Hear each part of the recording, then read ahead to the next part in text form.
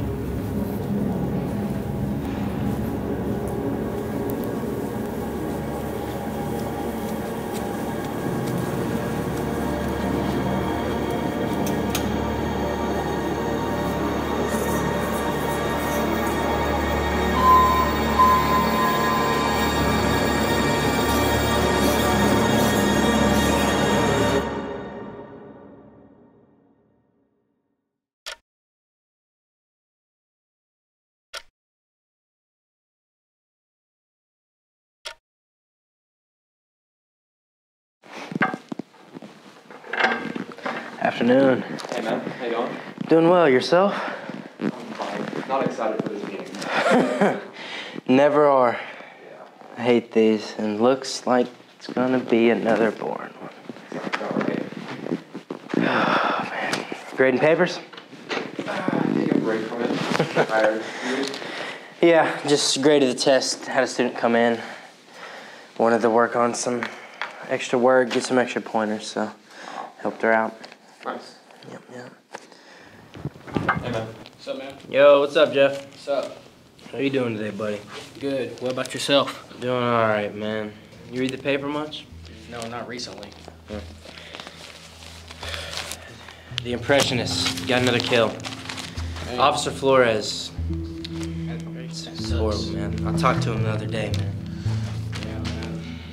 No, it also sucks for his family. You know. Yeah, It man. sucks. Know, what would you do if this happened to your family? It's a strange question. Why'd you ask that, man? I mean, I'm personally not a fan of blood, but you know, I'm just asking just to ask. What would you do if this happened to your family? I'd pray they killed me next. So revenge? Mm-hmm. Like your style. Where's your lunch? Uh, it's in my car. I forgot to go get it.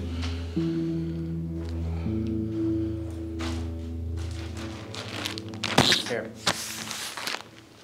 Thanks. Yeah, don't mention it, man. Hi guys, welcome back. I know there's been a lot of commotion going on about Officer Flores, but we have important matters to go over. School board. Um, just finish your lunches. If you need to step out, you can. I understand. Um, so today we have a lot of things going on about the current, current possibilities